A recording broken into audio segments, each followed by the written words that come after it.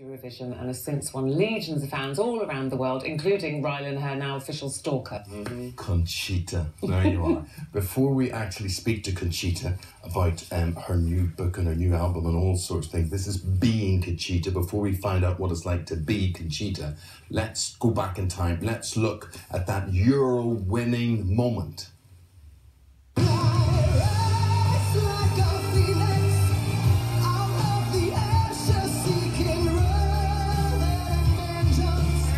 Congratulations, Conchita, Austria.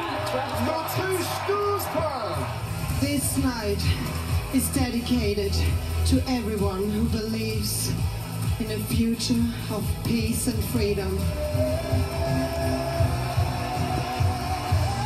You know who you are. We are unity and we are unstoppable. And have you been unstoppable since? Well, I'm making my way. I know. I I, I, I try. and when you look back at that moment, what do you think about it now? Do you remember how you felt? No, then? no, I don't. I mean, I look very happy. So, uh, but you know, I don't have any memories through my eyes. So everything I know is reconstructed by watching videos. And was that because you were so overwhelmed by it or nervous? I actually think that was a security function of my body Yeah. that I don't pass out. Like an out of body experience It- it- type thing, Thank looking you looking for down that. on There everything. is a song on my record called exactly like this. Amazing, amazing. Now, Conchita, Conchita had that out of body experience and can't really remember a lot. She remembers it through video. Rylan, for you, a life changing moment. What Uh, do you, well- what do you remember? I just remember watching the Eurovision and going, wow, she's amazing. And then looking at my Twitter and going, oh my God, it's Rylan and Nicole Scherzinger's love child. I, I was going, what? Oh my God. And I couldn't believe the likeness. But that night, I think, is when people, especially in this country, a lot of people will look at Eurovision and take a bit of the mick out of it and, you know, oh, it's politics, rah, rah, rah. That night, when Conchita performed and sung, that's what changed that competition, I think, completely. And her story and what she's doing to get to where she wants to be and the talent that she's got, I think it's completely changed that. Well, that story, and as I said, Conchita, and, and this book being Conchitable, and, and you have called it We Are We Are Unstoppable. How did Conchita come to be? Give people an insight into that. Well, the story is actually not that glamorous as many people would think. If I'm completely honest, everything just happened by mistake. Because I'm doing drag since I'm 14, but never in a regular way. And I got the offer in uh, 2011 to host a little burlesque show, which would be weekly. And I said, hey, let's do it in drag. And, and the lady said, well, sure, let's go.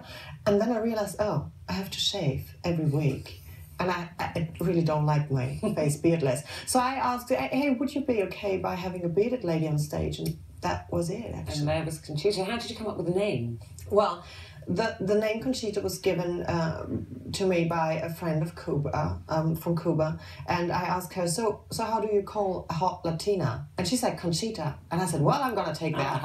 I'm gonna take that. And then I wanted to have a very glamorous surname, but it wouldn't come to my mind, so I I, I got Well, You when have- explain to people, are you always Conchita, or when are you Conchita and when are you not Conchita? Well, I, I I refer to myself as a drag artist, so I do have a non-makeup face in real life. So I would walk around as Tom without the wig, without the lashes, you know, paying bills and stuff. I'm very thankful that he does that. um, but Thought out all that boring stuff. yeah, but um, and and when it comes to to the public eye, I would always attend uh, in full drag. And did you did you set out to make a statement? Did you set out to say, no, I'm different and I'm embracing being different and I want people to accept me as being different? Well, I I didn't thought about that in, uh, in first place because you know in this back to to to the start in this burlesque community you might think that everyone is very open minded and you know very thinking in a liberal way, but they would give me the side eye, and I found out that this beard actually means way more than I thought it could. And then I said, hey, of course I'm a drag queen, even if I have a beard and even if I do it in a more you know sophisticated way. I think in terms of drag, I'm the most mm. boring drag queen you could ever No, see. no, no, no. It's scientifically, if we broke it down, if we had the scientific formula, you believe it is a cross between or a combination of Zayn Malik and Kim Kardashian. Yeah. Oh, That's what thank you for Kim. That's what it should be. The other interesting thing from your book is, I think often, whether it's Rylan, whether it's yourself, people think, "Oh, I'd like to be famous." You get up there and you do one song, and that's it. You're you're immediately going to be famous. You'll win Eurovision, whatever. In the book, you say that is an illusion. That success is mostly due to hard work. yeah, you have to work very, very hard. You know, I'm I'm in the public eye since I'm 17, so I spent most of the time of my career being not successful and not famous. But you know, it never, it never, you know, I never surrendered. I, I always, till now, I want to have a Grammy, so I have to work for it, right? You don't. I mean, you can w- win Eurovision and nothing could happen. You really have to to think and work and, and stay creative and entertaining and relevant at the end of the day because the, you know the show business is tough, and if they got a prettier face, you, I mean, you're out. You know, so um, but it's beautiful. So many things. See that Grammy that you were talking about, um, because people may have different perceptions of you, whatever. You take yourself obviously very seriously as a music artist. It's very important for you, and we're going to play a track uh, from the album now. What track are we going to play?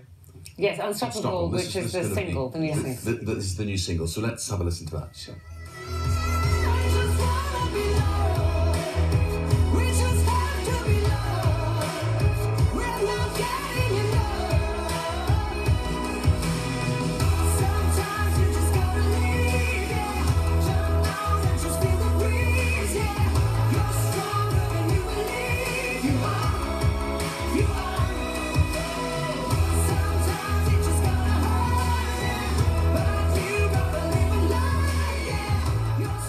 So as a as a singing artist, recording artist yourself, Rylan, what do you think of that? We'll go that far. Um, I love it. I completely love the album as well. And I remember you last year when you were co-hosting, obviously the Eurovision after the year that you won, um, and you performed that track, and then you did it with a mashup of Firestorm, Yeah. which is another track on the album. That is one of my favourite songs at the moment. I absolutely love it. I showed you my phone; it's like on repeat. I absolutely love it. The songs that are on that album are amazing, and whatever people think of you when they first thought, oh, what- maybe a joke on the Eurovision, like you've self-admitted that people have said that. The music speaks for itself completely. Mm-hmm. Do you know what speaks for itself? This picture is flooded in. A picture's flooded in. Pictures has it? flooded in from Rylan's fans there. that, look, that is the way they see the future. Maybe a duet thing going on here, oh, or, Well, or well, something. up It's for it. sort it isn't it? out. You look so glamorous. Well, yeah, I wouldn't want to upstage. I wanted a dress back though. Thanks for letting me borrow. I love it. That's brilliant. Absolutely amazing. And so, so what's next for you? Another album, and, and do you want a TV show? What would you? Where would you like to go now? Well, I'm, I'm thinking first of all uh, about live concept because I want to bring this album to the stage. And surprisingly, I found out that I'm not quite a good dancer. So I have to come up with a concept which is, you know, not boring after 10 minutes. So this is what I'm, I'm doing now. And yeah, I'm actually working on my second uh, album because, you know, I haven't written a word for the first one, although I was obviously very involved in the process. But I, I really want to be more creative and you you know making the second r- record even more my own than this one. It's the next Bond film you want. Yeah. What nobody called. Next time. went wrong. Next time. That should it be. Thank you It's very so much. good to Dana. meet Lovely you. meeting you. Uh, it's there. The new album is there, and uh, the book "Being Conchita" is at a bookstore near you as well. Lovely seeing you guys. Thank you very much.